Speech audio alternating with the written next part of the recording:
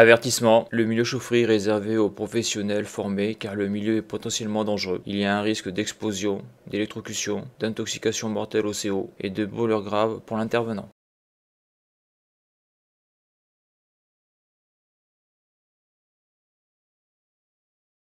Donc maintenant, dans cette vidéo, je vais changer le régulateur eau. Je viens de recevoir euh, la pochette. Donc ce régulateur euh, d'eau va aller sur la valve à eau automatique donc du chauffe-bain qui est Bayard 13 CF, donc de Chafoto et Mori. Hein. C'est une chaudière murale qui fait que de l'eau chaude sanitaire instantanée. Et donc cette vidéo est la suite de la vidéo chaud 234 dans laquelle j'avais remplacé la membrane de la valve à eau qui était percée, qui était déchirée. Donc j'avais reçu mon réfection valve eau pochette. Mais malheureusement, je n'avais pas reçu le régulateur eau. Donc les deux ont à peu près 6-7 ans. Et donc là, je viens de recevoir euh, le régulateur euh, eau et je vais le remplacer. À noter, comme on l'a vu dans la vidéo précédente chaud 234, la chaudière a 40 ans et on peut voir que les pièces de rechange se font toujours. En tout cas, pour la pochette du régulateur d'eau et pour la pochette de réfection de la valve à eau. Et donc, avant de remplacer le régulateur de la chaudière. Cela, on va découvrir un petit peu euh, la documentation du chauffe-bain à gaz Bayard 13 CF, même si euh, la documentation que l'on va voir ne correspond pas tout à fait à la chaudière que j'ai. Donc, que nous apprend la documentation Chafoto et Mori sur ce chauffe-bain à gaz? Donc là, on a la version 10 litres minute, Bayard 10 CF, et on a la version Bayard 13 CF 13 litres minute. Donc on peut voir que sur cette version là il y a juste le bouton gaz, hein. il n'y a pas le bouton sélecteur température, donc euh, bah, il y a plusieurs versions hein, même si euh, elles ont le même nom. Donc ça c'est la notice technique d'installation, notice d'emploi et d'entretien usagé. Donc on va voir ce que nous apprend cette documentation. Donc déjà ce qui est intéressant là, donc euh, petit accueil. Madame, monsieur, vous avez acheté un chauffe-bain Chafoto et Mori Bayard 10 ou Bayard 13. Cet appareil assurera pendant de longues années votre distribution d'eau chaude. Donc là, on peut dire que c'est pas de l'arnaque, hein. c'est pas du vent, c'est pas du marketing bidon, vu que la chaudière a 40 ans. Donc là, je valide. Afin d'obtenir le meilleur rendement de votre appareil, nous vous engageons à lire attentivement cette notice et à la conserver. Donc là, on a une notice d'emploi. Donc on a différents schémas, on a la chaudière, il y a des numéros. Donc notice d'emploi, mise en service. Donc en 1, vérifiez que l'eau froide arrive bien à l'appareil. Pour les appareils alimentés en butane propane, ouvrir le détente. En 2, tournez le bouton 8. Le bouton 8, il est ici. Le bouton 8, il est ici. Et c'est le bouton gaz. Un bouton qui sert à allumer et éteindre la chaudière. Puis ici, là, il y a aussi euh, la puissance de la flamme. Tournez le bouton 8 dans le sens de la flèche, le déclic en face du repère, donc ça c'est l'éclair, c'est l'allumage piezo, provoque l'étincelle de l'allumage de la veilleuse figure 5. Donc ouais, ok, donc on est sur le point ici, là, on, on ouvre, donc le gaz est libéré, et quand on passe euh, l'éclair, bah, ça crée un arc électrique au niveau du piezo. Donc en 3, la veilleuse étant allumée, le bouton en face du repère étoile, attendre quelques instants pour armer la sécurité du thermocouple. Donc ok, tu ouvres, le gaz se libère, tu fais l'arc électrique et après, une fois que la flamme de la veilleuse est bien allumée, donc pour ça il faut que le piezo fonctionne, c'est-à-dire que l'arc électrique se fasse bien, sinon tu n'auras pas de flamme, que la veilleuse ne sera pas allumée et il faudra que tu allumes ça avec une allumette, voire un allume-flamme, comme on va le voir plus loin dans la vidéo car le piezo va me lâcher pendant mon dépannage. Et donc quand la flamme de la veilleuse est présente. Tu attends 30 secondes que le thermocouple accomplisse sa fonction, c'est-à-dire qu'il génère assez de tension pour pouvoir maintenir la mini bobine qu'il y a dans le bloc gaz ouverte. En 4, tournez doucement le bouton 8, toujours le bouton gaz, dans le sens de la flèche jusqu'au repère position plein gaz, grande flamme. Donc une fois que bah, le thermocouple accompli sa fonction, on peut tourner là. Donc grande flamme, c'est pour avoir la, puissance maximum. Hein. Même sur ma chaudière, j'ai deux boutons pour régler la puissance, vu qu'il y a un autre bouton là, le sélecteur de température.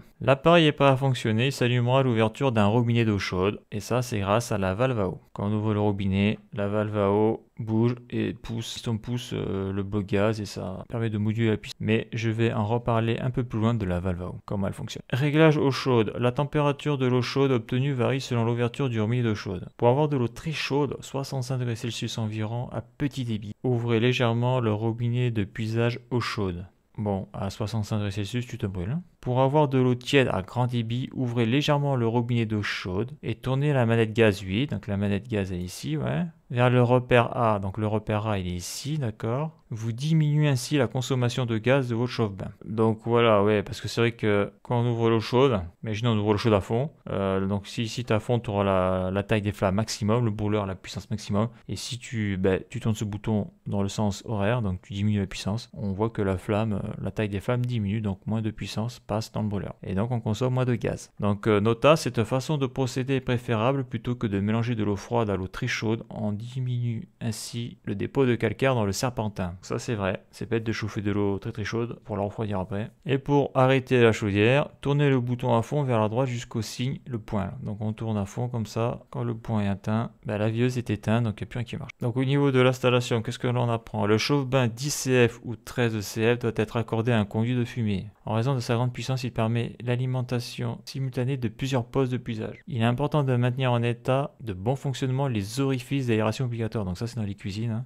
Donc une aération en bas, une aération en haut. Donc le gros souci de ce type de chauffe-eau justement c'est que l'hiver, bah, ces aérations font rentrer beaucoup d'air froid dans l'appartement. Mais bon, c'est des machines euh, d'une autre époque. Hein. Entretien, donc là c'est la partie la plus intéressante. Vidange de l'appareil en cas de gel, figure 9. Donc là on a la figure 9. Moi j'ai pas le, la même valve à eau parce que moi comme j'ai dit hein, j'ai un bouton ici. Un bouton sélecteur de température ici il n'y est pas. C'est un modèle 100. Donc vidange de l'appareil, fermez le robinet d'arrêt d'eau de l'installation. Ouvrez le robinet d'eau chaude, donc ça c'est pour euh, la pression. Vidanger l'appareil en divisant l'écrou 11. Donc moi l'écrou 11 euh, c'est le régulateur d'eau. C'est sûr que si je l'ouvre ça va vidanger l'appareil mais bon pour vidanger l'appareil, euh, tu dois démonter la valve bah, tu peux diviser les écrous hein, sur le côté, ça va faire la même chose. Hein. Sur cette machine-là, en entretien, qu'est-ce qu'il faut faire? Alors déjà, il n'y a pas de fil sur cette machine, premièrement. Les seuls fils qu'il va y avoir, tu vas les avoir au bout de tes robinets les diffuseurs, toute la merde va se mettre dedans. Donc c'est là où il va falloir nettoyer. Donc nettoyage de la veilleuse. Alors attention, la veilleuse, tout est en aluminium. J'ai un collègue à qui c'est arrivé, il démonte, donc il enlève la vis, il a remet, manque de bois, je sais pas, il force un peu, il bousille le filetage. Donc euh, le gars été carré, il avait du matos dans son véhicule, il avait des tarots, il a réussi à récupérer le truc en rotaraudant. Il a taraudé un peu plus grand, je crois, et il a mis une vis un peu plus, donc euh, par rapport au tarot qu'il avait fait, par rapport au taraudage qu'il avait fait, et il s'en est sorti comme ça. Donc c'est vrai qu'en chaudière murale, donc avoir des joints, des joints touring,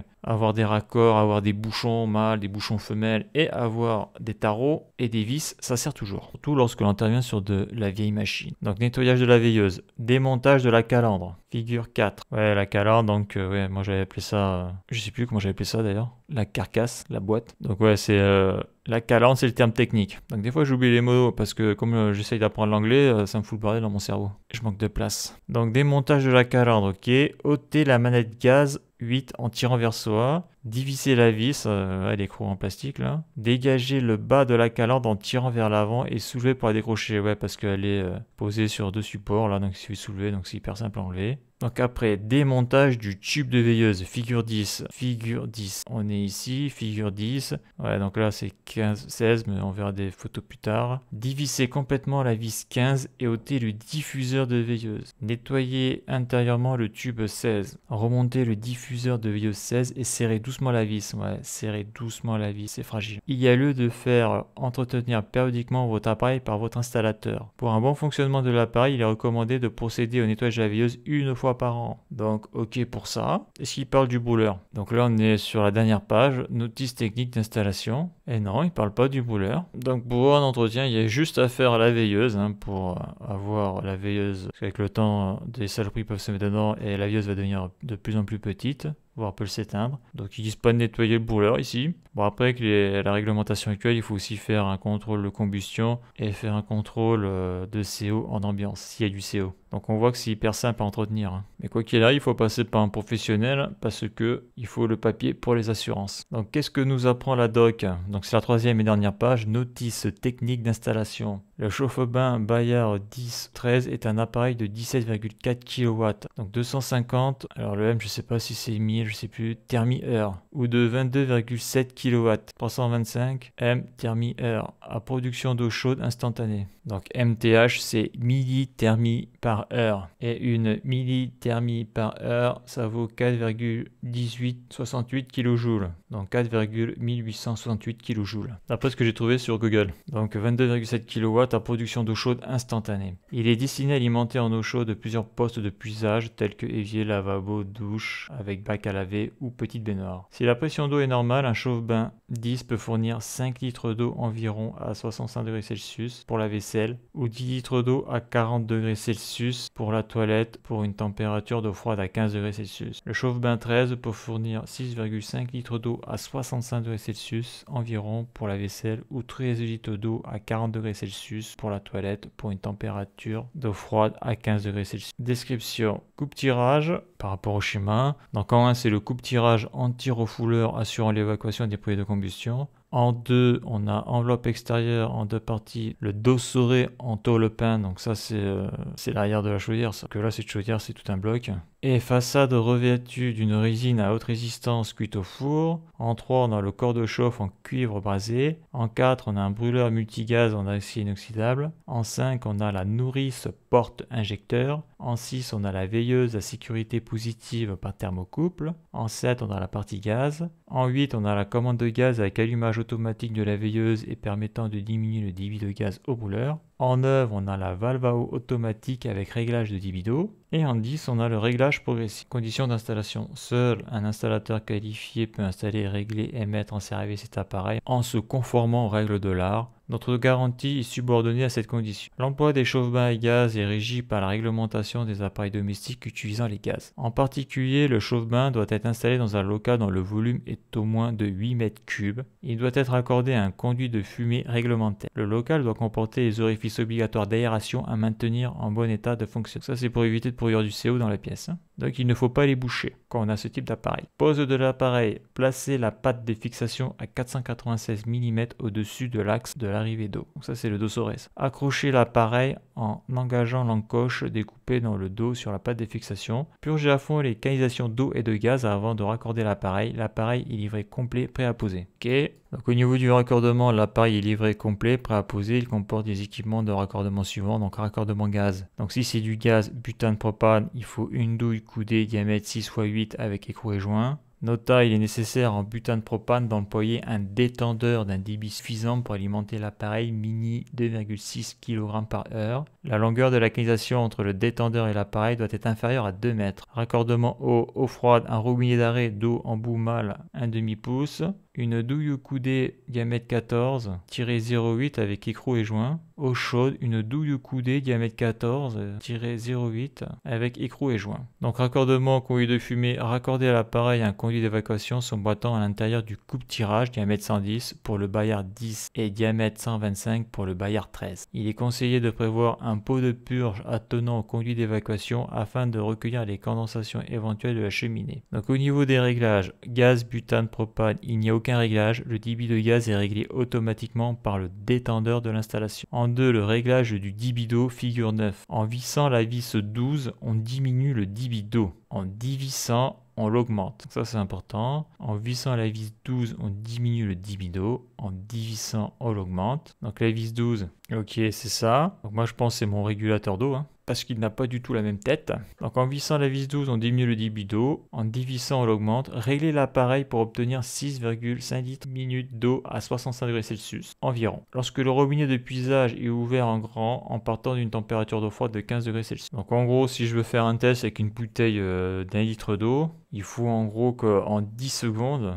je remplisse un litre. En 3, réglage de l'allumage progressif. Le dispositif d'allumage progressif est réglé en usine pour des conditions moyennes de pression d'eau. Si l'allumage du brûleur est trop lent ou trop rapide, il est possible de régler ce dispositif d'allumage. 10. En vissant, on ralentit l'allumage. En dévissant, on le rend plus rapide. Donc là, la chaudière que j'ai, je pense qu'un des soucis serait peut-être ça. C'est que s'il n'y a pas assez euh, de débit d'eau chaude, le brûleur peut rester éteint. Bon, faut faire des tests. Mais bon, là, cette vis-là, je peux plus y toucher parce que ça bouge plus. Donc, euh, j'ai pas trop envie d'y forcer pour pas la péter. Hein. Elle marche toujours. Donc voilà. Donc les caractéristiques, puissance utile. Donc pour la 10 litres, 17,4 kW. Pour la 13 litres, 22,7 kW. Donc on voit qu'il faut de la puissance puissance quand même pour chauffer l'eau. Hein. Je dis ça parce que j'ai déjà vu une fois dans le tertiaire, donc pour faire de l'eau chaude instantanée avec euh, une sorte de chauffe-eau électrique là, en triphasé, mais on était, on était à 10 kW. Donc 10 bidots portés de 15 à 40 degrés Celsius, 10 litres minute pour la 10 litres et 13 litres minute bah, pour la 13 litres. 10 bidots portés de 15 à 65 degrés Celsius, 5 litres minute pour la 10 litres et 6,5 litres minute pour la 13 litres. Le rendement sur PCI 85%, euh, pour la 10 litres, 84% pour la 13 litres. Donc après, c'est juste pour faire l'eau chaude instantanée, donc c'est pas méchant. Surtout si c'est pour faire que la vaisselle et prendre des douches. Pression d'eau minimum pour le fonctionnement de la valve. D'accord. Vis de débit aux ouvertures. Donc la pression d'eau minimum, c'est 0,15 bar. Ça veut dire qu'en dessous de 0,15 bar, il n'y a rien qui marche. Mais après, en dessous de 0,15 bar, t'as plus d'eau robinet, quoi. Et pour la 13 litres, c'est 0,2 bar. Donc la pression d'eau maximum, 10 bar. Alors bon, si tu as de l'eau à 10 bar sur ta chaudière, euh, la membrane, elle va pas faire 6-7 euh, ans. Hein. Au bout de 2-3 ans, elle sera peut-être HS. Donc il vaut mieux avoir un réducteur de pression d'eau et limiter la pression du réseau à 3 bars, voire moins si c'est possible. Hein. Débit de gaz 15 degrés Celsius 1013 millibars, donc ça c'est le CNTP, conditions normales de température et de pression, pas de conneries. Gaz butane 49,5 mégajoules par kilo, donc pression 28 millibars, débit 27,5 grammes minute. Gaz propane 50,4 mégajoules par kilo, donc la pression c'est 37 millibars pour le propane, ça fera un débit de 27 grammes par minute. Perçage des injecteurs, gaz, butane, propane, brûleur 0,70, veilleuse 0,15. Ça c'est les diamètres des injecteurs, c'est vraiment très fin. 0,70 mm et 0,15 mm, ça. Et c'est tout, il n'y a rien sur le gaz naturel. Ok, donc voilà pour cette documentation. Donc là, je vais essayer d'expliquer euh, le fonctionnement de cette valve à eau. Donc là, on peut voir sur cette photo les organes qui sont essentiels. Donc à droite, là où j'ai ma souris, on peut voir la valve à eau qui est démontée euh, de la chaudière. On l'avait vu dans la vidéo précédente, chaud 234, où j'avais remplacé la membrane que l'on peut voir ici. Donc ça, c'est la neuve. Donc la membrane d'avis, elle est là. Le piston et puis euh, cette pièce-là, là où il y a le piston et ça fait étanchéité. Donc ça, ça s'appelle la réfection de la valve à eau. Et là, ce que je vais changer, là, c'est cette pièce-là qui est aussi très importante. Donc ça, c'est vieux ça c'est le 9, qui est le régulateur eau. C'est comme ça qu'il appelle sur la documentation technique. Donc là, sur la vue éclatée de la chaudière, on voit là, la valve à eau. Donc ça, c'est le bloc. Donc là, ce bloc-là, il est un peu particulier parce que ici et ici, il y a des orifices que je n'ai pas sur la mienne. Donc ça, c'est pour y mettre de la robinetterie, eau froide, eau chaude. Donc pour ouvrir ou fermer donc euh, bah, les robinets d'eau froide ou d'eau chaude. Moi, j'ai pas ça sur ma chaudière car l'eau froide arrive par ici, l'eau froide donc pour faire de l'eau chaude sanitaire et donc l'eau chaude par ici. Et après l'eau froide, ça passe par un autre endroit, ça va directement au robinet du lavabo. Ça c'est la valve à eau. Donc ici, là, on a le kit de réflexion de la valve à eau, donc avec la membrane, de piton puis euh, la pièce supérieure. Et ici, on voit la pièce que je vais changer, ce qu'ils appellent le régulateur eau avec son joint. On avait vu que le joint y était. Le joint, le régulateur eau entier. Donc ça, c'est un piston. Hein. Lorsque l'on appuie euh, dessus, ben, ça descend. On peut descendre jusqu'à là. Et après, si on relâche, il y a un ressort qui pousse. On voit qu'ici, il y a deux trous. Donc après, comment il s'est usiné, je sais pas parce que euh, on n'a pas de, schéma. Pas de schéma de principe dans la documentation technique. Donc ici, on a l'arrivée d'eau froide. Ici, on a un diaphragme où l'eau passe. Donc là, on va vers l'échangeur. Donc probablement que l'eau froide part par là pour aller dans l'échangeur. Le retour, donc l'eau froide par l'échangeur, ça revient ici. Et ici, on a le départ eau chaude. Là, on a le régulateur à eau. Et donc là, on a, donc ici, euh, le bouton n'y est pas, mais c'est le sélecteur de température qui va de 1 à 4. Donc probablement quand tu tournes ça, ça doit plus ou moins brider le débit de l'eau froide qui passe sous la valve. Quand je dis sous la valve, c'est plutôt sous la membrane. Et là, cette pièce-là, le régulateur à eau, est en contact direct avec la membrane. Dans la membrane, il y a le piston. Et ici, on le voit pas trop. Ici, on le voit. Donc, ça se met ici, là, là où il y a ma souris. Donc, l'eau froide rentre dedans. Quand on tourne une partie, l'eau froide rentre dedans. Et là, on le voit pas. Il faudrait que je prenne une photo avec la pièce à l'envers. Mais il y a un trou, un canal, et l'eau va à l'intérieur. Donc, il va y avoir une certaine pression d'eau à l'intérieur de la membrane et il y aura une autre pression d'eau sous la membrane parce que là de l'eau va passer. Et donc l'idée ça va être que suivant la différence de pression entre dans la valve à eau et euh, dans la membrane, eh bien quand l'eau circulera dessous la valve à eau, quoi dessous la valve à eau, dessous la membrane, le but c'est que à l'intérieur par effet euh, Venturi, donc euh, ça va aspirer l'eau, hein, je sais pas comment ça marche exactement parce que comme j'ai dit on n'a pas les schémas de coupe, ça va créer une dépression et cette dépression va faire que bah euh, le piston va monter là, donc ce piston que l'on voit là, parce que ça va pousser sur la membrane, Et ça, ça va dans le bloc gaz. Et donc ça va pousser dans le bloc gaz et ça va donc bah, mettre plus ou moins de puissance dans le brûleur. Et lorsque l'eau circule moins vite dans la valve à eau, et eh bien la dépression sera moins forte à l'intérieur et ça va faire descendre un peu le piston. Et bien sûr, si on ferme le robinet d'eau chaude, bah, les deux pressions là vont s'équilibrer. Donc euh, tout ça, ça va retomber. Là, le piston va retomber. Donc euh, la vanne gaz ne sera plus, j'ai envie de dire, stimulée. Et donc il n'y aura plus d'eau chaude, quoi. C'est-à-dire que le brûleur s'arrêtera. Donc si ta membrane est déchirée, eh bien tu risques pas de faire de l'eau chaude. Et en plus, comme on l'avait vu dans la vidéo précédente, ça crée une grosse fuite d'eau. Donc là, j'ai pris une photo pour voir l'intérieur de cette petite coque là qui fait euh, étanchéité. Hein. Donc là, le, piston là, ici, on le peut le voir là, la tige passe dedans et après tout ça, ça va dans le beau gaz. Et là, c'est ce que je disais là. Donc l'eau là va passer ici par le biais du diaphragme à eau, ça rentre dedans. Donc ça c'est la membrane. Hein. Ici il y aura le piston et on voit que ici là ça rentre dedans et après ça va aller au-dessus du piston. Voilà. Et donc, euh, bah, ça serait ça qui permet le passage de l'eau. Et donc, par effet Venturi, ça doit sûrement euh, créer une dépression. Alors, est-ce que de l'eau rentre vraiment? Je sais pas. Hein. Mais euh, le système a l'air de fonctionner grâce à effet Venturi. Donc là, il y a une dépression. Ça veut dire quoi? Bah, Ça veut dire que la pression ici sera inférieure à la pression qu'il y a sous la membrane. Et donc, l'eau va pousser la membrane. Et comme sur la membrane repose le piston là, et eh bien ça pousse là, par le biais de la tige, dans le bloc gaz. En gros, c'est un peu ça l'idée. Et donc, comme ça avec une histoire de différence de pression, donc il faut que l'eau circule, hein. sinon ici il n'y aura pas de dépression et donc l'eau ne pourra pas pousser la membrane et donc le piston et donc moduler la puissance au niveau du bloc gaz. C'est pour ça que quand tu fermes ton robinet ou si le débit est très faible, la différence de pression est trop faible, donc le piston redescend, ça n'actionne pas le bloc gaz, donc au niveau du brûleur, il n'y a rien qui sort. Et donc cette pièce-là est aussi importante parce que lorsque c'est neuf, euh, ce petit vérin là, cette tige avec le ressort, ça coulisse tout seul. Mais lorsque c'est vieux, ben, ça, peut, ça peut bloquer ça. Donc là on le verra là quand je vais démonter l'ancien, s'il est dur ou pas, mais je ferai une vidéo, on verra la différence entre les deux. Donc en gros, lorsque l'on change euh, la membrane, on change aussi ça, comme ça on est parti euh, pour 6, 7 ans, 8 ans, hein, suivant l'utilisation que l'on a de la chaudière, et aussi du réseau euh, d'eau froide qui rentre dans la chaudière, parce que la membrane, si tu n'as pas un réducteur de pression, par exemple là ici, le réducteur de pression que j'ai changé il a 3 bars, mais si tu tapes la membrane directement à 7 ou 8 bars, à force, ça peut l'user beaucoup plus vite. Donc c'est pour ça que ça c'est une pièce d'usure, parce que le caoutchouc se bouffe et après ça se perce, et ça c'est aussi une pièce d'usure, parce qu'avec le ressort, je sais pas, il y a de l'eau qui doit rentrer dedans, ça doit corroder et après c'est plus euh, du tout fluide. Lorsqu'on appuie dessus, ça se bloque. Donc ça, on va le voir après lorsque je vais démonter l'ancienne, car là pour le moment, je l'ai pas encore fait. Donc je vais démonter ça et je vais changer les joints ici, ici et probablement ici et ici. Donc voilà pour le, principe de base.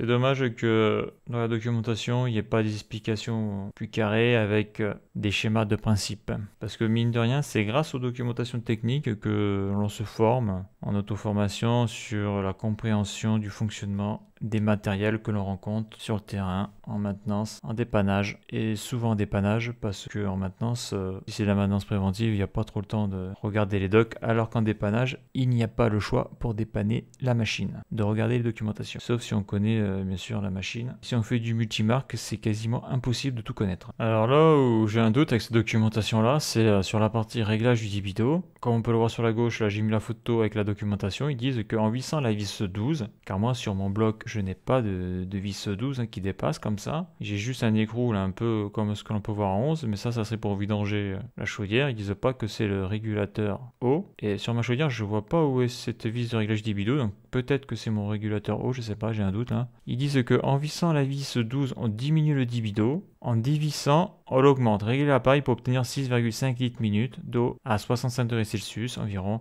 lorsque le robinet de puisage est ouvert en grand en partant une température d'eau froide de 15 degrés Celsius. Donc ils disent qu'en vissant, on diminue le dibido. Donc là ici on voit qu'il y a un gros, c'est pas un joint, c'est une sorte de caoutchouc, je sais pas tout ce que c'est parce que le joint il est ici là. Donc ils disent qu'en vissant, on diminue le dibido. Je sais pas si euh, c'est par rapport à ça. Parce que ça après ici il y a un ressort là, donc euh, quand on appuie dessus à la main, c'est vraiment euh, un petit ressort il n'y a pas besoin d'appuyer très fort pour enfoncer le, petit vérin. Là. Donc ça, ça doit probablement participer à l'équilibrage des pressions. Hein. Que ça tape, comme j'ai dit, euh, ça là c'est plat et ça repose directement dessous. En plus là il y a des trous, donc je pense que de l'eau doit passer à l'intérieur. Donc voilà, donc là j'ai un doute pour cette histoire au niveau de la documentation. Donc je voulais le signaler. Alors je rajoute que je pense que c'est le sélecteur de température, car comme on, l'a vu en lisant la documentation, il parle de petit débit et de grand débit, et quand tu es en petit débit, tu as l'eau qui peut monter à 65 degrés Celsius, et en grand débit, tu as l'eau qui monte à 40 degrés Celsius. Donc je pense que le sélecteur de température en réalité, quand je dis puissance mini et maxi, donc puissance mini c'est 4 et puissance maxi c'est 1, c'est cette température augmente ou diminue en diminuant le d'eau, en touchant le sélecteur, ça doit augmenter la température. Et en augmentant le d'eau, en touchant le sélecteur, ça doit diminuer la température. Ça doit être quelque chose comme ça. Donc après, cette chaudière est donc j'ai fait quelques tests, mais j'ai pas voulu trop pousser parce que, comme j'ai dit, tu peux avoir une fuite au niveau du pressé tout et j'ai pas envie d'avoir de fuite au niveau du pressé Donc là, j'ai reçu mon régulateur au pochet, donc le kit là. Donc dedans, dans cette poche, tu as ça là. Donc voilà à quoi ça ressemble. Hein. Donc là, celui-là, c'est le neuf. Donc là, si je zoome un peu dessus, voilà à quoi ça ressemble. Donc on voit bien le joint. Là, on voit cette euh, partie en caoutchouc là. Là, on voit les deux trous. Et lorsque j'appuie doucement là, comme ça, on voit que bah, il n'y a pas de blocage. Hein. C'est super euh, fluide. Sauf quand je l'enfonce à fond ou quand je le mets en biais. Mais là, on voit qu'il n'y a pas de souci, ça marche très très bien. Donc ça, ça va se mettre dans la valve à eau. Et ça, ça va se mettre comme ça. Ça va appuyer là. Donc ça, c'est l'ancienne valve à eau. Celle qui a la membrane, on peut le voir là, complètement déchirée. Donc là, on peut voir un petit trou là. Pourquoi il y a un petit trou? Parce que ça là, quand ça va être mis sur la valve à eau, comme je l'ai dit là, de l'eau va rentrer dedans. Ça, c'est le détrompeur de la valve à eau, ça se met comme ça. Donc ça, après, ça va dans le bloc gaz. Et donc, quand l'eau circule, quand l'eau circule, sous la membrane, donc il y a l'eau qui pousse, hein, mais quand l'eau circule, ça va ici là, créer euh, par effet Venturi une dépression. Donc si tu as une dépression, ben, qu'est-ce qui va se passer? L'eau va pousser là, et donc euh, la tige va sortir et ça va donc euh, pousser dans le bloc gaz et ça va donc libérer le gaz et ça va allumer le brûleur et plus la tige sort, plus euh, le brûleur va libérer du gaz et plus la puissance flamme va être forte. Donc pour faire de l'eau chaude suivant le débit, hein, plus il y a d'eau froide qui passe euh, dans l'échangeur et plus il faut que bah, il y a de la flamme hein, qu'on apporte les calories pour chauffer tout ça. Et donc là c'est comme ça le montage. Parce que ça là ça va être vissé sous la valve à eau. Donc c'est cette pièce là que je vais changer. Donc en gros le montage c'est ça quoi. Voilà c'est ça. Donc après à quoi servent ces deux petits trous je sais pas. Bon, en tout cas, moi, quand je vais le visser, je sais pas, ça sera peut-être en pression comme ça. Donc voilà, c'est un équilibrage de force. Quand cette pièce-là est défectueuse, eh bien tu peux ne pas avoir d'eau chaude sur ce type de chaudière-là. Ou alors, quand tu ouvres ton robinet d'eau chaude, euh, au bout de quelques secondes, bah, tu n'as plus d'eau chaude, tu que de l'eau froide. Bon, bien sûr, il faut qu'elle soit bien réglée, hein. c'est-à-dire que ta chaudière marchait bien avant, puis euh, tu te rends compte euh, que le temps passant, elle marche plus. Et cette pièce-là aussi, hein, si cette pièce-là déconne, je pense que tu ne peux avoir des gros problèmes avec ton eau chaude, c'est-à-dire que soit tu n'as plus d'eau chaude, ou soit tu as l'eau chaude, et puis au bout d'un moment, tu n'en as plus. Donc ça, c'est les deux causes de panne. C'est deux pièces d'usure. Et donc là, je vais changer celle-là. Car la dernière fois, j'ai changé la membrane. Maintenant, je vais changer ça le régulateur d'eau.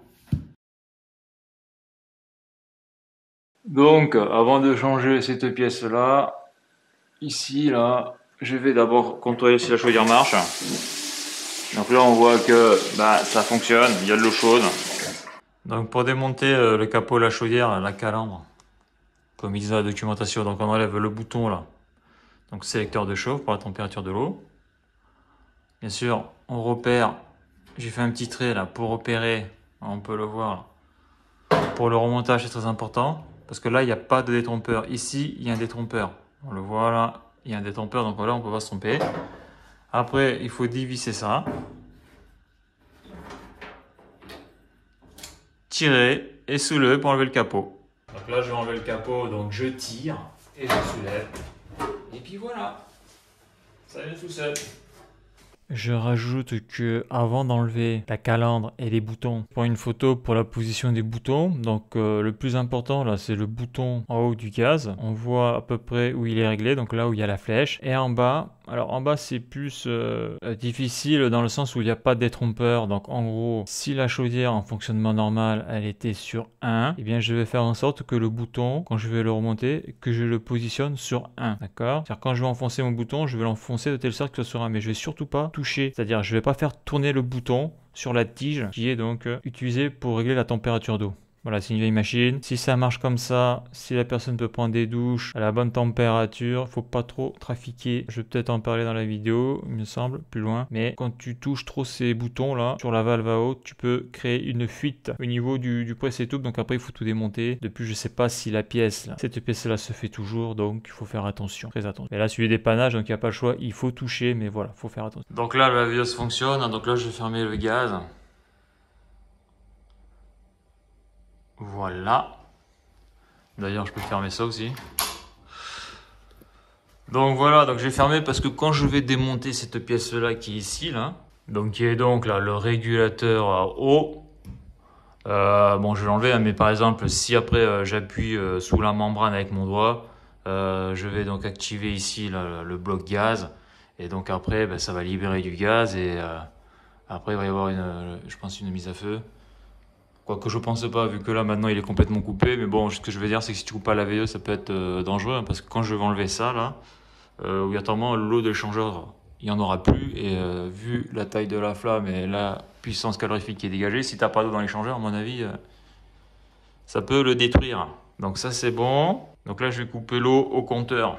Parce que cette vanne là euh, d'isolement, elle, euh, elle déconne, elle laisse un peu pisser. Et donc ça là, c'est le retenu allumage. Donc c'est ce qu'on avait vu précédemment sur mes explications là, sur le, sur le, on l'avait vu là sur le, les vues éclatées de la chaudière. Donc ça c'est le régulateur d'eau. À l'intérieur là, il y a la membrane. Ça c'est pour euh, le sélecteur de chauffe. Donc ça va de 1 à 4. Comme on peut le voir ici, 4 c'est la puissance mini 1, c'est la puissance maxi au niveau euh, température. Et ça, c'est le bouton gaz pour euh, l'allumer, l'éteindre. Et aussi, on peut régler aussi la, puissance avec ça. En tout cas, on peut la limiter. Donc là, on voit qu'il bah, y a une fuite. Là, hein. Donc ce joint-là, il faut que je le change. La dernière fois, je n'avais pas pu le changer. Là aussi. Et puis j'ai envie de dire là aussi, là aussi. Hein. Changer les joints. Voilà, donc, bah, maintenant que j'ai fermé l'eau, J'ouvre. Il n'y a plus d'eau, c'est bon. Je vais pouvoir ouvrir ça. Donc là, avec une clé 17, c'est pas bon. Une clé 19, c'est pas bon. Donc je vais faire la clé molette. Donc dans le sens, dans le sens horaire, je dévisse, parce que là je suis, euh, je suis à l'envers. Hein. C'est-à-dire quand tu vises comme ça, c'est dans le sens horaire. Comme je suis à l'envers, il faut que je fasse dans ce sens-là. Donc après, c'est des trucs, faut pas forcer. Hein. Si ça bloque après, euh, ben, il faut réfléchir. Donc là, on voit que je le dessert. Voilà. Donc voici le vieux. Ah ouais, il est... Il est pas dur, hein Non, non, il est pas dur. Donc lui, il a été changé en même temps que la membrane il y a, 6 ans, je crois, 6-7 ans. Non, non, il est pas dur, il est fonctionnel encore. Hein. Ok. Quoique, il est fatigué quand même. Bah donc là, j'ai le nouveau. Donc comme tu peux le voir, j'ai enlevé le régulateur d'eau. Hein. Donc comme il porte bien son nom, hein, il doit réguler le débit d'eau chaude. Ça c'est mécanique. Donc là on peut voir euh, les filetages, on peut voir un petit peu l'intérieur de la valve à eau. Ici sur cette photo, on peut percevoir la membrane au fond là, qui est toute noire là. Donc c'est la membrane que j'ai changée dans la vidéo précédente, chaud 234. On peut voir aussi euh, l'orifice. Donc là on peut voir euh, la flèche, la petite flèche en bas. Donc bah, c'est l'arrivée d'eau froide ici. Hein. Donc l'eau froide passe dans le régulateur d'eau et ça a l'air de sortir par les deux petits trous qu'il y a dans le régulateur d'eau. Après, on n'a pas de coupe euh, de cet appareil-là qui est sur c'est que l'écrou du bas, on voit bien la flèche du passage du fluide, et puis en bas, c'est l'arrivée d'eau froide. Et en haut, tout en haut à gauche, c'est le départ d'eau chaude. Et l'échange thermique, donc euh, l'eau froide passe, bah, comme on l'avait vu sur la valve à eau, hein, sur euh, les deux entrées et sorties qu'il y a devant. Comme on peut le voir sur cette photo-là, il y a deux tuyaux courbés qui montent et ça va vers l'échangeur. Donc après, peut-être on peut passer un petit bout de soupalin dans le filetage pour essayer de nettoyer. Euh, personnellement, j'ai regardé, j'ai vu que c'était bon, j'ai rien passé dedans. Voici, j'ai passé le doigt pour voir s'il y avait des saloperies, mais voilà. Bah voilà, hein, donc après le remontage, là j'ai regardé dedans, bon tout est propre, hein. on voit que ça Hein. parce que la chaudière se vide un petit peu. Donc après, bah, je, serre, je serre à la main.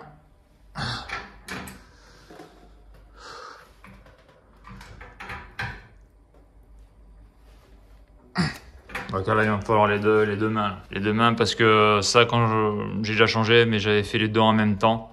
La membrane et ça, donc c'est plus facile parce que tu commences par ça. Le souci, c'est que là, je n'ai pas le... Comme je n'ai pas reçu de pièces en même temps, euh, j'ai préféré donc d'abord mettre la membrane pour avoir l'eau chaude. Mais là, la membrane, j'ai pas envie de la démonter vu qu'elle est serrée. On sait jamais, j'ai pas envie d'avoir une fuite, comme c'est neuf. Donc là, je vais le prépositionner à la main. Donc pour éviter que ça coule ici, hein, bien sûr, il faut laisser le, robinet ouvert ici. Hein. C'est vrai que je, l'avais fermé comme un con là, mais là, on dirait que bah, le temps que la chaudière se vide, tout ça, ça peut prendre un certain temps. Donc, je vais le positionner. Donc là, je l'ai mis comme ça, là, tu vois. Donc je l'ai mis avec mon doigt, parce que je peux pas faire en même temps, là. Et je l'ai mis comme ça, j'ai tourné. Mais là, on voit qu'il est légèrement biais, donc là, c'est pas bon. Donc là, j'ai zoomé là sur le régulateur d'eau. Tu vois que à gauche du régulateur d'eau, je suis à peu près à fleur. Et à droite, j'ai 2-3 mm qui dépassent. Donc là, j'ai déjà chopé un filetage, mais tu vois, là, je suis en train de visser en biais. Donc quand il y a ça, il faut tout de suite arrêter parce que si tu forces, donc tu vas visser mais tu vas péter les filetages et donc ça sera pas étanche et ça sera la catastrophe parce que là le bloc de la valve à eau sera mort parce que à moins que tu aies un tarot machine, tu accès à ce genre de tarot, les très gros tarots, il faut retarauder. Donc là je vois ma connerie là, quoi ma connerie, je vois que si je continue je vais faire une grosse connerie donc là j'arrête et je redévisse le tout pour le bien le remettre. Il faut que ça soit parallèle et que des deux côtés euh, exactement la même distance. Donc euh, voilà, là on voit qu'il n'y a pas la même distance, donc euh, c'est pas bon, mais du tout. Donc il faut arrêter et redémonter et recommencer le vissage. Voilà. Voilà, donc là ce que j'ai fait, c'est que j'ai divissé et je l'ai remis en, le tournant comme ça. Donc ça c'est vraiment extrêmement important hein, parce que là tu vois bien que les portées là sont bien parallèles. Hein, si tu vis ça en biais, tu peux tout casser. Donc ça, il faut surtout faire extrêmement attention. Hein. Donc l'autre que j'avais démonté, il était un peu plus serré que ça. Donc là, théoriquement, avec le gros joint là, en caoutchouc, là, je pense que... Bah, il y avait le joint de mais il y avait le gros truc en caoutchouc. Je pense que c'est bon. Voilà, on va pas aller plus loin. Donc le régulateur d'eau est monté. Donc là je fais un gros zoom sur lui pour voir un petit peu de quelle profondeur je l'ai rentré. Et puis là on a une vue générale sous la chaudière. Donc euh, là tout est bon. Donc ça c'est la première étape, c'est fait. Maintenant il faut que je fasse les joints. Les joints là. Donc là, je me suis commandé des joints, 3 huitièmes de pouce, un demi-pouce, 3 quarts de pouce, 1 pouce. Donc c'est des joints CSC. Euh, donc, euh, joint plat, intérieur de raccord, caoutchouc synthétique, cellulose, CSC. Euh, donc c'est ça, le CSC c'est caoutchouc synthétique cellulose. Donc ils sont de couleur rose. Température d'utilisation maxi 120 degrés Celsius. Domaine d'application eau froide, eau chaude, sanitaire, huile, air, chauffage. Conseil d'installation pour une bonne étanchéité, monter un joint neuf bien sec. Voilà. Donc là, ces joints-là, il n'y a pas besoin de les mouiller comme les joints fibres. Et ceux-là non plus, il n'y a pas besoin de les graisser comme les joints caoutchouc. Donc ça, c'est top. Donc ça, euh, ces petits conditionnements-là, bah, j'ai dû les commander sur Internet hein, parce que les fournisseurs de matériel professionnel, là, ils te vendent pas ça en petit conditionnement. Et dans les magasins de bricolage, euh, va savoir pourquoi. En tout cas, là où j'ai été, ils en vendent pas. Ils en vendent pas, ils vendent que des joints fibres et des joints caoutchouc. Donc ça, j'ai commandé ça sur Amazon et je mettrai le lien dans la description de la vidéo. Parce que bon, moi j'ai acheté ça parce que c'est toujours bon. Par exemple, le 12-17, euh, on sait jamais pour les WC s'il y a besoin. Et après, le, le 15-21 et le 20-27, eh bien, pour la chaudière. Et le 26-34, il peut aussi servir. Voilà. Donc avec ma clé à molette, je défais l'écrou euh, d'arrivée d'eau froide. En gros, ce que je suis en train de faire, c'est comme si euh, j'enlevais la valve à eau, sauf que je n'ai pas dévissé euh, les vis là qui font la jonction entre le bloc gaz et la valve à eau. Après, je dévisse l'écrou donc qui va vers l'échangeur. Donc ça, pour moi, ça serait le départ eau froide vers l'échangeur. Ça, c'est le retour d'eau chaude qui vient de l'échangeur. Hein. Donc l'eau froide a été réchauffée dans l'échangeur et donc ça, bah, c'est l'eau chaude qui arrive. Pareil, je le dévisse à fond et après à l'arrière, ici là, c'est le départ eau chaude vers la cuisine et la salle de bain. Et une fois que tout ça c'est fait, eh bien je peux accéder aux joints. Je peux les enlever. Je remarque que le joint qui a donc sur l'arrivée au froid de la valve à eau, eh bien il est abîmé, il est coupé. C'est pour ça que ça coulait. Alors c'était du goutte à goutte, mais euh, il y avait une goutte toutes les 45 secondes. C'était très léger comme fuite, mais il y avait fuite. Donc là on le voit là, le joint là, il s'est un petit peu mis euh, dans la portée là. Donc c'est clair que ouais, il était complètement HS. Hein. Donc ce qui est clair par contre, c'est que ouais, il, était, il était déchiré, tu vois. Ouais, ouais, mais il était vieux aussi. Hein. Ce qui est clair, c'est que quand tu changes la membrane et si tu veux changer le régulateur d'eau, autant faire les deux en même temps parce qu'après, euh, là, si je veux libérer cette pièce-là, je suis obligé de défaire euh, la membrane. Mais bon, j'ai pas envie parce que j'ai pas envie de me créer une fuite, elle est neuve, elle est posée, elle est partie pour 7-8 ans là. Donc là, hors de question que j'y touche. Parce que là, on est sur, on n'est pas sur une chaudière de formation, là, on est sur une vraie chaudière euh, de production, j'ai envie de dire. Donc ok, donc là, il faut que j'enlève les joints là. J'enlève les vieux joints qui sont collés et j'y passe euh, vite fait un coup de toiletterie pour nettoyer la portée. Faut aussi là, vite fait là.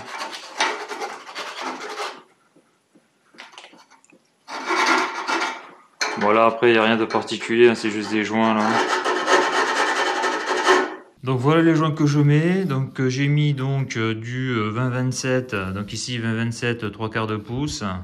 Donc on voit que l'ancien il était complètement foutu, hein, c'est pour ça que ça goûtait. Hein. Mais là des joints comme ça, tu trouves pas ça en, en magasin de bricolage, donc bon, faut les commander. En tout cas là où je suis, bricot marché, bricot dépôt, tout ça, il n'y a pas. Et après, il faut utiliser donc du 15-21, un demi pouce. Voilà, 15-21, demi pouce. Donc là, j'ai mes joints tout neufs. Je vais pouvoir les mettre. C'est l'huile.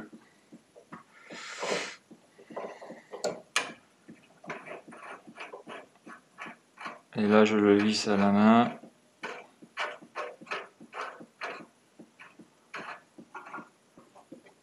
Voilà. Donc on voit quand même que là, ce joint-là, il est super bien adapté.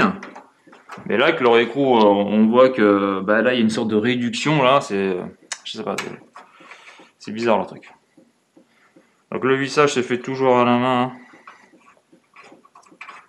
Alors, faut bien le mettre dans l'axe.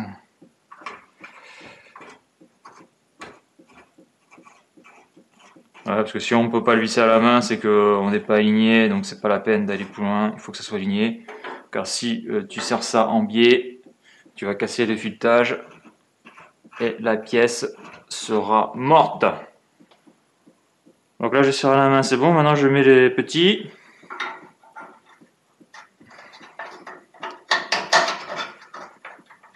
Voilà, on aligne bien tout ça, c'est super. Ok. Là, la même chose.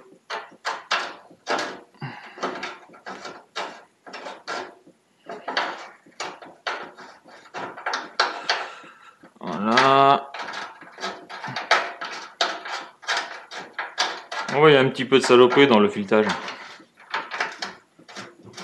Calcaire, parce qu'il y, a sûrement déjà eu des petites fuites. Voilà, là j'ai serré la main, super. Donc là maintenant je serre la clé. voilà, donc je serre pas non plus comme un bourrin. Hein. C'est bon. Voilà, je serre. C'est bon Bien sûr, selon ce que ça dit, peut-être que je vais remettre un coup de serrage. Hein. Voilà. Donc là, comme l'écrou il est de l'autre côté, ça marche à l'envers le vissage. Comment je serre? C'est bon, pas plus. Donc là, pareil, je serre. Voilà, pas plus. Donc maintenant là, ben, je, vais, je vais remettre en eau. Je vais d'abord essuyer ça avec euh, un sopalin là, pour que ça soit sec. Et je vais ouvrir gentiment pour voir... Bah, déjà pour voir s'il n'y a pas de fuite. Après j'ouvrirai de manière normale, on sait jamais. Hein, parce que peut-être qu'il y a un truc que j'ai pas vu et quand je vais ouvrir ça va pisser de partout. Donc euh, il faut y aller doucement que les ouvertures... C'est-à-dire lorsqu'on leur remet en eau un circuit. Ok, donc j'ai remis en eau. Donc là je regarde bien. Bon, tout est bon. Là, c'est beau. Donc là, j'ouvre gentiment l'eau. Ouais, il y a de l'eau, super. Et l'eau chaude. Pour purger le réseau.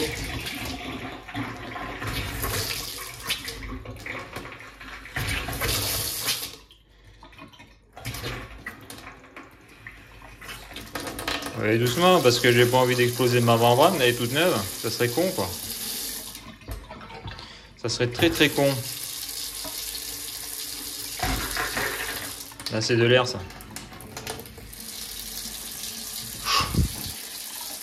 C'est bon Il n'y a plus d'air Voilà, il n'y a plus d'air. Donc là, je fais du puisage. Je vois que bah lui, euh, ça fuit pas pour le moment. Hein. Donc le joint est neuf, donc ça me fera un peu chier que ça fuit. J'ai nettoyé la portée, tout ça. Donc ça après il faudra le contrôler en, réel, c'est-à-dire quand de l'eau chaude sera puisée là. Quand la chaudière fonctionnera. Donc là qu'est-ce que l'on a là? Pas de fuite. Hein. Et là, là, ici là, pas de fuite. Donc tout est ok. Donc il n'y a plus que à remettre en marche la chaudière et faire un contrôle.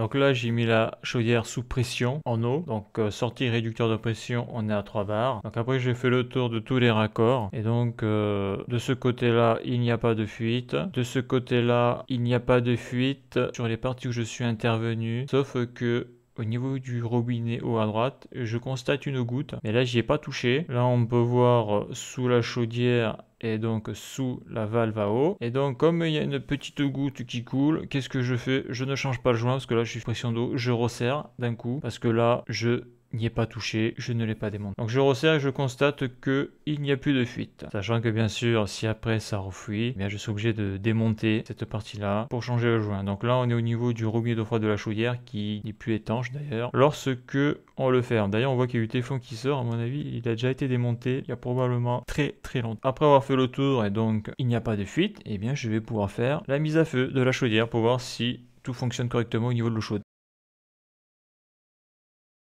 Donc, j'ouvre le gaz gentiment.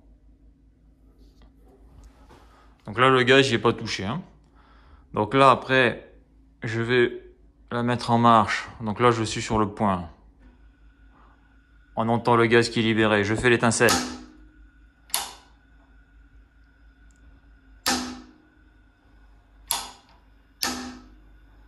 Donc là, tu vois, le piezo marche plus.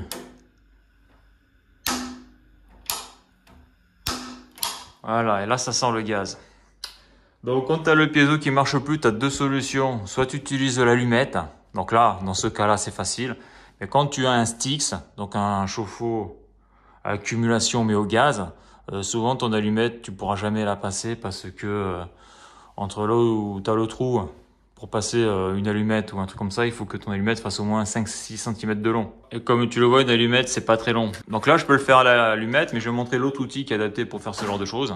C'est ça, c'est un allume-flamme. Là, j'appuie là comme ça, là.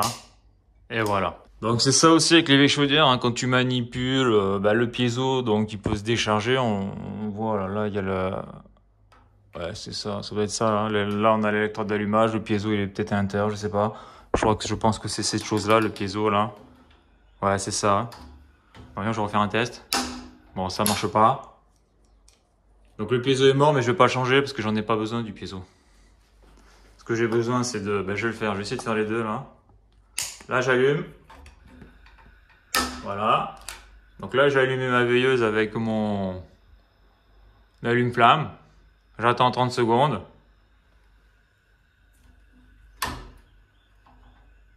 Voilà. Et là, j'ai là j'ai mis la puissance à fond, quoi, à fond. Je vais pas la mettre à fond parce que j'ai pas besoin. Et donc là, tu vois la flamme. Donc si j'ouvre l'eau chaude, gentiment. Voilà.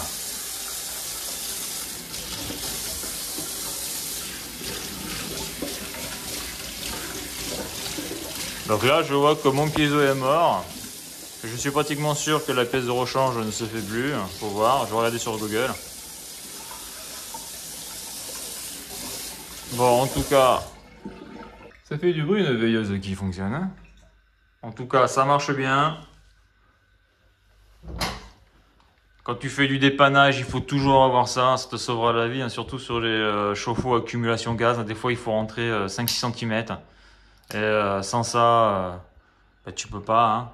Hein. Les allumettes classiques, c'est trop petit, pas assez long. Et le piezo, quand il te lâche, bien sûr, bah, c'est quand tu manipules la chaudière. C'est toujours comme ça, c'est normal c'est quand tu en as besoin que ça ne fonctionne plus. Et surtout que les piézos électriques, bon voilà, avec le temps ça marche plus. Donc bon, après, il faut dire au client, ben, si jamais euh, il doit réallumer euh, sa chaudière, eh bien il sera obligé de le faire avec une allumette. Ou alors il s'achète des allumettes longues, ça existe. Après, si la pièce se fait, le piézo ça change, mais bon, euh, je suis pas sûr que ça se fasse toujours. Et, après, comme je l'ai dit, les vieilles chaudières, moins qui touchent et mieux c'est quoi. Hein. Après, quand elles sont en panne, t'as pas le choix, mais tu vois, à force de manipuler le piezo, ben, il marche plus. Donc, je refais un test quand même. Super. La mise à feu se fait bien. Je mets un peu d'eau froide. Donc là, j'ai laissé les réglages euh, d'avant. Hein. Ça aussi, c'est hyper important avant de démonter, c'est de repérer les réglages qui fonctionnaient bien avant. Voilà, c'est bon, nickel. Voilà, donc je vais pas trop y toucher à ça parce que je me suis rendu compte d'un truc avec cette chaudière là. C'est que quand tu manipules le sélecteur, donc c'est pour la température de l'eau, et eh bien à force de le manipuler, tu peux avoir euh, de l'eau qui coule ici là. D'accord? Donc c'est pour ça là, je j'ai pu me rendre compte la dernière fois, donc c'est pour ça que je vais pas y toucher. Hein. Je vais juste rajouter quelques compléments d'information. Mais tu vois là, Là, ça coule une goutte, mais après, ça va s'arrêter, heureusement. donc, c'est pour ça. Là, c'est réglé, j'y touche plus. Parce que j'ai pas envie de la bousiller. Hein. Comme je l'ai dit, là, je suis pas dans un centre de formation. Hein. C'est pas une chaudière euh, d'apprentissage, c'est une vraie chaudière. Donc là, je vais remettre le capot. Et donc, pour le remontage, c'est la même chose, mais à l'inverse.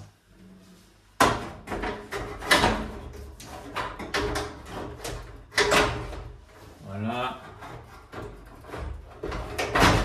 Voilà, doucement. Je contrôle que en haut ça s'est bien mis, c'est bon. Donc après je remets le petit écrou et après je remets la pièce, le bouton du haut, bouton gaz et le bouton pour le sélecteur de chauffe et puis voilà. Donc l'idée avec euh, ces deux boutons-là, donc ce bouton-là c'est pour, euh, comme j'ai dit, allumer la chaudière, l'éteindre. Mais là tu vois que ici, là, c'est mini, maxi, donc la grande femme, c'est-à-dire que quand tu le mets tu as la puissance maxi, en tout cas au niveau du bloc gaz, ça, il développera sa puissance maximum. Donc là on voit qu'il n'est pas à fond, il est euh, un peu au milieu là. Et ça, c'est aussi le, bah, le sélecteur de température. Hein. 4, euh, c'est la température minimum, c'est-à-dire que quand tu vas ouvrir ton robinet, même à fond, eh bien, le brûleur restera éteint, c'est clair. Et plus tu montes, et à un moment donné, quand tu ouvres ton robinet, le brûleur va se mettre en marche vers ici. Donc après, le problème de ces chaudières-là, c'est que quand tu fais tes vrais tests, il faut le faire tes tests avec euh, bah, la salle de bain, hein. c'est-à-dire que c'est le plus important, c'est-à-dire quand tu prends ta douche, ou l'idée c'est que quand tu prends ta douche, que tu aies de l'eau chaude, mais qu'au bout de, je sais pas moi, 20 secondes, tu n'es pas de l'eau froide. Car ça, c'est le gros problème avec ces chaudières-là, c'est que tu mets l'eau chaude et puis tu mets un peu d'eau froide et puis tu n'as que de l'eau froide. Donc après, il faut faire des tests en réel. Après, il faut éteindre le robinet et rallumer le robinet parce que des fois, tu fais des réglages en fonctionnement, ça marche. Mais lorsque tu éteins, ok, pas de souci, mais quand tu rallumes, ça marche plus. Donc là, actuellement, sur cette chaudière-là, par rapport à la baignoire, à la salle de bain, pomme de douche, ces réglages sont bons, on doit chauffer l'eau à 45 degrés, donc il faut rajouter euh, un petit peu d'eau froide, quoi, 45-50 degrés, il faut rajouter de l'eau froide pour pas se brûler. Là, on n'est pas à fond parce que ça sert à rien. Parce qu'à chaque fois que l'eau chaude est utilisée, vu que la chaudière vieille, c'est qu'un seul point de puisage qui est en fonctionnement. Hein. Ce que je veux dire, c'est qu'il y en a pas un qui va prendre sa douche et l'autre va faire la vaisselle en même temps. C'est clair. Sinon, il y aura un souci, car la chaudière quand même a 40 ans. Voilà. Et ne pas oublier que lorsqu'on a un avec le débit d'eau chaude, il faut nettoyer tous les diffuseurs des robinets et surtout la pomme de douche parce que dedans, il peut y avoir du, du tar, du calcaire, euh, des saloperies, comme on a pu le voir là quand j'ai démonté. Car ici, moi je le vois, comme il n'y a pas de filtre sur l'appartement, euh, dans les diffuseurs, il y a toujours des, sortes de gravier, il y a de la merde tout le temps. Donc euh, voilà, donc comment on nettoie un pomme de douche Bah ça, je ferai une petite vidéo là, juste après là, parce que c'est vrai que ça, c'est un dépannage facile, parce que ça brille le débit d'eau chaude. Donc au niveau de la chaudière, au bout d'un moment, quand tu vas ouvrir euh, ton eau chaude, ben, tu auras de l'eau froide assez vite. Donc il suffit juste de nettoyer la pomme de douche et de, ben, la mettre dans du vinaigre blanc. Mais je ferai une petite vidéo là-dessus, parce que c'est intéressant à savoir comment on fait pour enlever euh, les saloperies qu'il y a dans une pomme de douche. Voilà. Je rajouterai aussi que pour pas avoir de problème avec ce type de chaudière-là, lorsque tu prends une douche, il faut avoir des pommes de douche très simples, c'est-à-dire qu'il ne faut pas qu'à l'intérieur il y ait des limiteurs de débit. C'est-à-dire que quand tu fais ton puisage d'eau chaude à la pomme de douche, et eh bien quand tu as un limiteur de débit à l'intérieur, le débit d'eau chaude ne peut être pas assez suffisant pour la chaudière au niveau de la valve à eau, ce qui fait que tu as de l'eau chaude au début, puis quelques secondes après, 10-15 secondes après, tu as que de l'eau froide. Donc ça, il faut y penser. Alors là, là, juste sur euh, l'arrivée d'eau froide, il y avait une petite fuite, là, je voyais une goutte couler. Donc j'ai resserré un petit coup voilà. Donc après ça, cette pièce-là, elle a été faite pour cette chaudière-là. Hein. C'est un robinet qui a été soudé, donc ce robinet il est peu étanche, il faudrait tout remplacer là. Mais bon, ça je veux pas y toucher. À partir du moment pour moi ça coule pas, parce qu'après il faut remplacer le joint. Mais bon, comme j'ai dit là, comme c'est très vieux, si ça fuit pas, j'y touche pas. Hein. Car il faut se méfier avec les vieux trucs. Parce que ça peut te lâcher à tout moment? Donc là, je recontrôle, pas de fuite d'eau sous la valve à eau. Là, on peut voir une photo sous la chaudière. On peut voir que tout est en place. Et donc là, on peut voir la chaudière euh, remonter. Tout est OK. Donc euh, voilà la pièce, euh, la vieille. Donc si on le démonte, donc on voit que bah, il y a ça là. On voit que dedans c'est creux et les deux trous que l'on peut voir ici là, on les voit à l'intérieur, là, donc c'est percé. Après, qu'est-ce que l'on a là? On a le ressort. Et ça, on a une sorte de joint. Voilà. Et dedans, ben voilà, c'est juste un trou. Hein. Donc ça, ça va comme ça. Ça, c'est sûrement pour l'étanchéité. Le ressort va dedans. Et, et donc ça, ça va comme ça. Voilà. Et donc si c'est percé, sûrement, c'est parce que l'eau l'eau doit rentrer à l'intérieur. Et quand la membrane euh, régule, ça doit faire ça. Donc c'est sûrement pour évacuer l'eau, pour équilibrer les pressions. C'est sûr. Et ça, ça pousse sur la membrane. Et euh, bah, quand l'eau passe, hein, ça crée une dépression euh, au-dessus de la membrane, c'est-à-dire bah, dans la membrane, parce que la membrane, elle est dans, dans, la, dans le sorte de... Parce que dans la membrane, on l'a vu, il y a une coquille, dedans il y a le piston, donc euh, il y a une pression là-dedans, puis sous la membrane, il y a une autre pression. Donc voilà, hein, par dépression, quand l'eau passe, euh, eh bien ça, l'eau pousse la membrane, et puis ça, je pense que ça doit aider aussi, le régulateur de libido. Alors j'en avais parlé dans la vidéo précédente, hein. euh, cette histoire de réglage du libido, donc c'est pas clair dans la documentation, on voit pas trop bien. Puis dans la documentation, la chaudière qu'il y avait, c'était pas la même que celle que j'ai, même si elles ont le même nom, où il disait, au niveau du réglage du libido, la figure 9, en vissant la vis 12, donc euh, ça ressemblerait à ça, même si sur le schéma c'est pas du tout ça, hein, c'est une tige qui est plus longue, ça on l'a vu dans la vidéo précédente. Hein. Donc en vissant la vis 12, on diminue le débit donc là si je visse encore plus, peut-être que je diminuerai le d'eau chaude, bien sûr, on parle de l'eau chaude, hein, en dévissant on l'augmente. Réglez l'appareil pour obtenir 6,5 litres minutes d'eau à 65 degrés Celsius environ, lorsque le robinet de puisage est ouvert en grand en partant d'une température d'eau froide de 15 degrés Celsius. Comme on l'a vu là dans cette vidéo là, je l'ai serré, je l'ai rentré de 3 mm comme il était avant. Bon voilà, ça marche très bien. Ça fait 40 ans que ça marche très bien, sauf quand la membrane se perfore ou se déchire. Donc ça fonctionne, j'y touche plus, mais c'est vrai que là j'ai un doute là au niveau de la documentation. Si en resserrant le régulateur d'eau, donc comme ils disent, en le vissant, donc en vissant la vis, est-ce que ça diminuerait le d'eau Je ne sais pas. Et puis en plus, je n'ai pas de, de dibimètre là pour mesurer ça. Voilà le petit complément d'information que je voulais rajouter. Bon, en regardant de nouveau la vidéo au montage, je suis quasiment sûr que là où j'ai mis la flèche là, sur mon modèle de Valvao, c'est ça là, ce qu'ils appellent la vis de réglage de d'eau. Même quand je l'essaye euh, sur cette chaudière là, c'est pas flagrant au niveau du d'eau chaude, mais après comme euh, j'ai dit, hein, c'est une très vieille chaudière, donc peut-être que ça y fait. Mais ouais, je suis quasiment sûr à 80% que c'est ça. Cette vis là, j'aurais dû prendre une photo parce qu'on voit qu'il y a un petit orifice là en sortie de cette tige là pour voir comment c'est foutu. Tu dois plus ou moins laisser passer de l'eau chaude quand tu tournes avec euh, le sélecteur cette tige. Donc voilà pour le complément d'information que je voulais rajouter.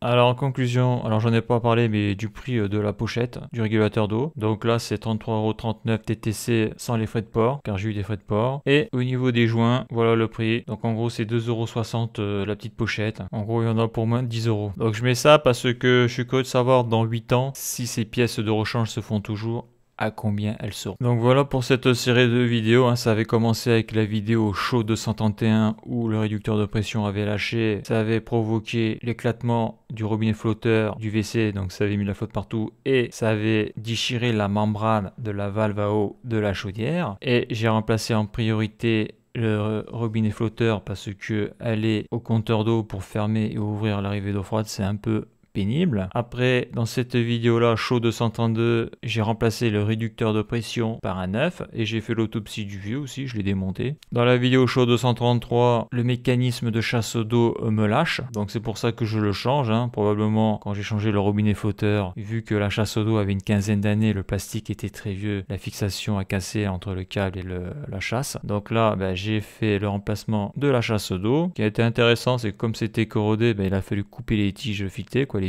Et après, ben, quand j'ai reçu euh, ma pièce, quand la première pièce, la valve à eau, la membrane, eh bien, je l'ai remplacée dans la vidéo Show 234. Et malheureusement, je n'ai pas eu les deux pièces en même temps. Et donc, dans cette vidéo-là, chaud 235, j'ai remplacé le régulateur d'eau. La chaudière fonctionne, il y a de l'eau chaude, il n'y a plus de fuite d'eau, nickel. On apprécie les douches à l'eau chaude, hein, car l'eau froide, ça agresse sévèrement. Donc voilà pour cette vidéo, bah, la suite dans le prochain épisode.